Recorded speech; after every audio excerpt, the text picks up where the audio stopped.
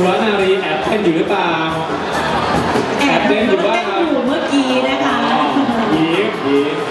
เดี๋ยวว่าแต่นักเรียนเลย เมื่อกี้อาจารย์เนี่ยขยับตามาบอกแล้ว